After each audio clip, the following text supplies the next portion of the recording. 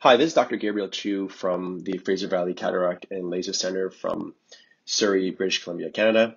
And today we're going to be showing you another video in our series um, for intermediate and veteran surgeons on how to do routine cataract surgery in about five minutes or under.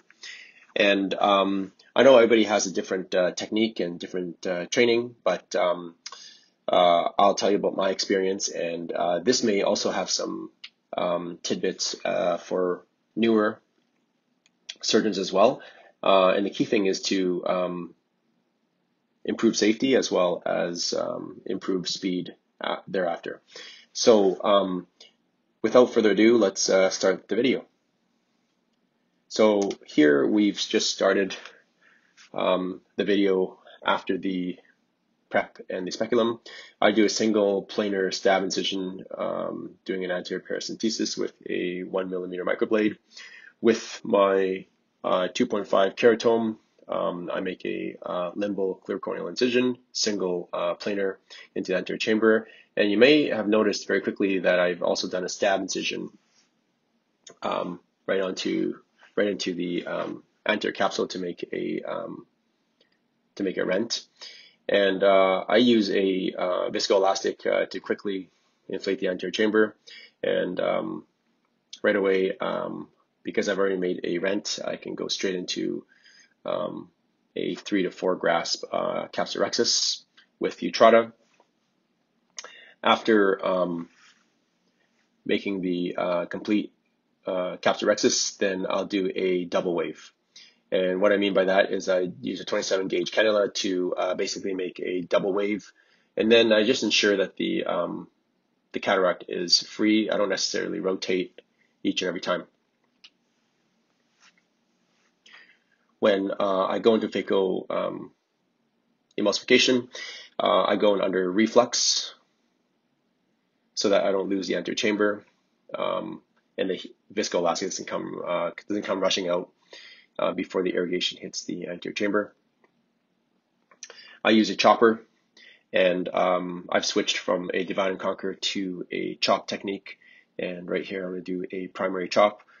And you'll see that I subtly just kind of move the uh, cataract a little bit um, so that I can get a good engagement there. And then uh, go straight into the center of the nucleus, uh, trying to keep the phaco tip very central. And then I do a horizontal uh, primary chop and I bring it right into the uh, the middle and um, and separate the two pieces. I want to see a complete chop. And uh, I do favor horizontal chop. Uh, and sometimes if I cannot do a horizontal chop, horizontal chop, I'll go to a vertical primary chop. After the first piece comes out, the other pieces uh, have room to uh, to maneuver, and um, the rest of the um, heminucleus, uh, both of them will easily come out. And uh, during the phacoemulsification, my second uh, hand is quite active. Uh, so as I'm phacoemulsifying, I'm also chopping at the same time. And uh, at this point, we have a little bit of epinucleus and a little bit of um, cortex left. So um, I'm going to be moving on to the IA. And I just uh, switched it here. Sorry for the video quality. It is 4K, but sometimes the uh, capture rate may not be too high. Hopefully it's fairly um, fairly clear. So I uh, remove the um, cortex in um, circular fashion, always taking from the leading edge so I can um, make sure there's not too many adhesions. I use a combination of both um, foot um, position two as well as mechanical stripping to uh, very quickly remove the uh, uh the cortex. Um, and uh, when I did the viscoelastic there, I, only, I'm primarily um, inflated the capsular bag and not the anterior chamber very much there. Uh, I the rest of the anterior chamber is inflated by just a little bit of uh, that was on the tip of the cartridge there. Uh, this is an Oculentis M Plus lens that I put into the capsular bag, and um, it is a toric lens, so I'm going to rotate it into position. Uh, I've already pre-marked the cornea to make sure that I have the right axis. As I'm positioning, I'm also removing viscoelastic. And at the end of the case, uh, all I'm doing is making sure that the um, the wounds are hydrated and sealed, and the anterior chamber is um, is reinflated, and that we have good pressure, and that the lens is uh, properly in place. Uh, that was at a one-time speed. I know I was speaking pretty quickly, but there are nuances throughout the entire procedure that um, I'm going to slow down to half speed right after this.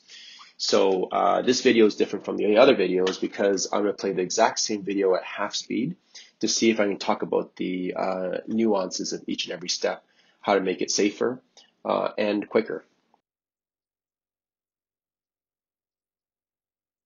The cataract surgery that I was trained to do was divide and conquer, um, and also with uh, multiple steps and multiple instruments that I've slowly through the years have done away with. And some of the processes I've uh, even combined. Uh, for example, I don't I no longer use a Sinskey, uh, and I no, no longer use the, the, multiple instruments I was trained to to use. And of course, I switched to chop technique. Okay, so let's uh, go into into this. There's the um, anterior paracentesis. Sorry for the video being so slow. I'm to try to talk as quick as possible so that I can kind of outline some of the nuances that I do each and every step.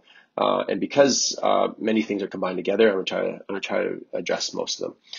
There's the single uh, planar stab uh, incision as well as the single planar um, main, main wound, 2.5 millimeter uh, keratome, and the tip of it just touched the center of the anterior capsule. So there is a very small rent right into the, right in the middle. Uh, it's slightly obscured by the light reflex there. What I'm doing here is non-preserve uh, 1% lidocaine.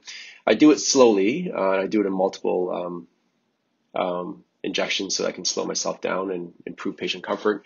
And patient comfort is important because you don't want them fidgeting and moving around.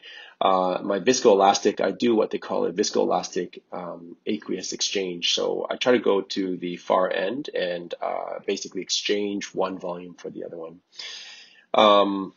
So it comes out very quickly. Uh, since I've already made a rent in the anterior chamber, I can very easily find it.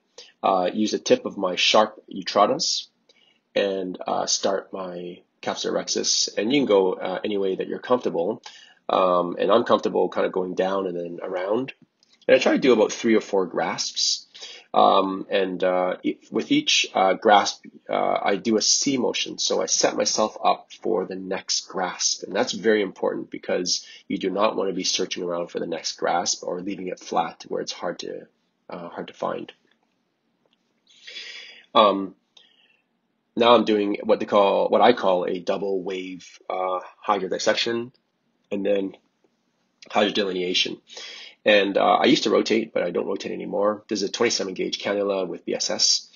And uh, as long as I know there's a double wave, then I know it's relatively loose. And um, and uh, I won't uh, go ahead and rotate. Sometimes I find that, the uh, single instrument rotation uh, tends to not work very well. Um, or uh, doesn't indicate very well that the cataract is indeed loose enough um, that you can continue on with the phacoemulsification and easily rotate it.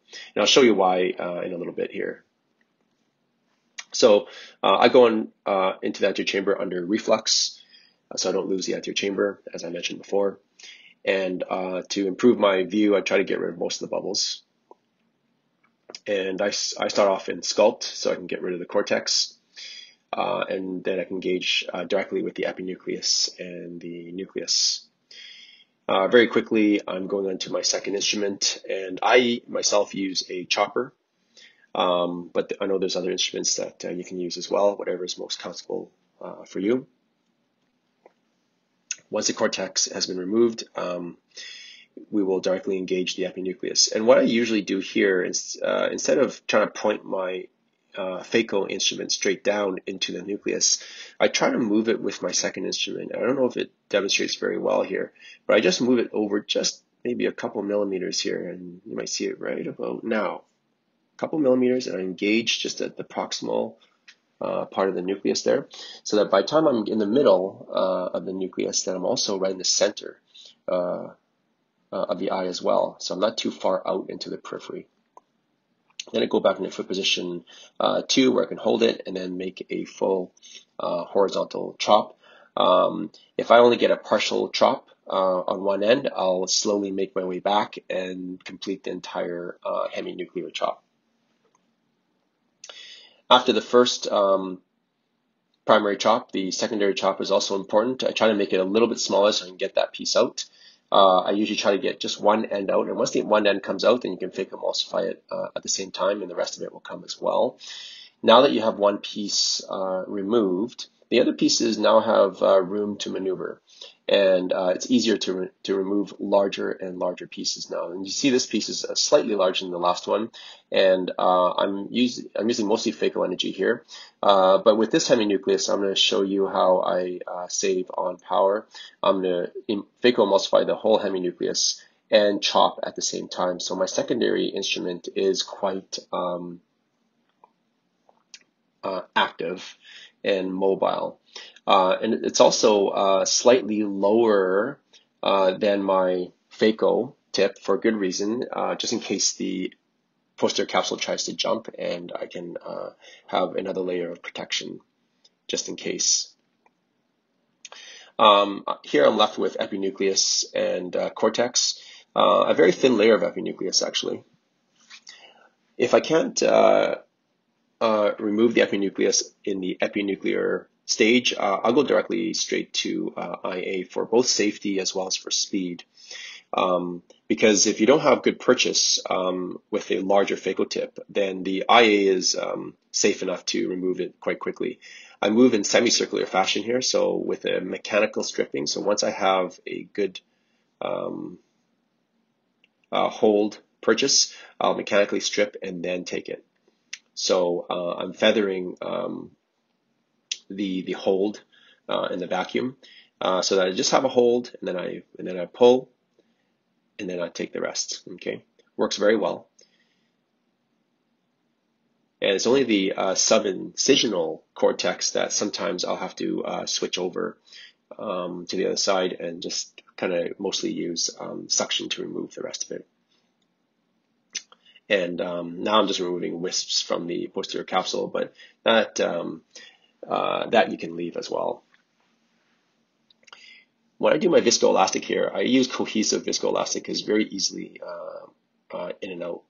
Uh, and uh, right here, I only fill the capsular bag. The anterior chamber, there's a little bit there, but I find the rest of it uh, on the end of this cartridge will kind of fill the anterior chamber anyway. I'm using my secondary instrument here as a um, countertraction here to try to get that um, the tip in here. And sometimes I need to do a, a, twisting motion just to get it get it in so it doesn't get caught on the edge of the wounds. This is an Oculentis M plus lens, so it comes out quite quickly. So my secondary instrument uh, is also there to guide the um, the speed as well as the positioning of the reopening. So it goes straight into the bag. Sometimes it doesn't go straight into the bag. You do have a little bit of troubles just getting uh, getting the lens uh, in afterwards uh, by trying to rotate or uh, trying to do an intraocular maneuver. Uh, but if you get it straight into the bag, then that's um, that's generally the best the best way of doing it. I do pre preoperative marking, so I know exactly where the toric uh, has to sit. And as I'm maneuvering the lens, I'm also removing viscoelastic to, to save time there. And you can go straight to foot position three here because the lens is in place and the viscoelastic comes out co, um, as a co, in a cohesive manner. And um, yeah, that's the end of the case. Uh, I usually, at the end of the case, I um, just want to make sure that the wounds are sealed by hydrating them with a 27 gauge um, with BSS um, especially the main wound. And then um, once I feel that's uh, well sealed, then I'll move over to the paracentesis to um, titrate the IOP, and I tap on the cornea just to make sure that I have um, not too high, but also not too low of a pressure. Too low of a pressure will cause the um, uh, to the the eye to be hypotonous, and then of course uh, the self-sealing wounds do not really work very well, uh, of which mine are single plane. Uh, and of course, too high it will lead to other issues as well. So um, I do try to um, make sure um, I finish uh, with a good with a good pressure here. During this time, if the lens tries to spin or move, uh, this is a fairly large lens, so it's not trying to spin, uh, then I will go through my para and just uh, use the tip of my cannula to um, make very small adjustments. Uh, if the lens moves too much, then I will go back with my IA tip um, to uh, try to maneuver the lens back back in. But very often, um, you know, you'd be surprised that you can you can rotate the lens quite a bit through the para and your uh, and your cannula. Well, thanks for joining me today again, uh, and hopefully that that helps with the uh, little nuances and steps of uh, the cataract surgery. I know I had to speak uh, quite quickly because there's multiple steps being done at the same time. And uh, it, I thank uh, one of my students and uh, one of my residents who watched my video and said, oh, you should do one at regular speed and one at a half speed so you can better talk about the different steps of the surgery. So hopefully that proves helpful. And if there's any questions, of course, uh, here's our contact information. Thanks for watching. Bye-bye.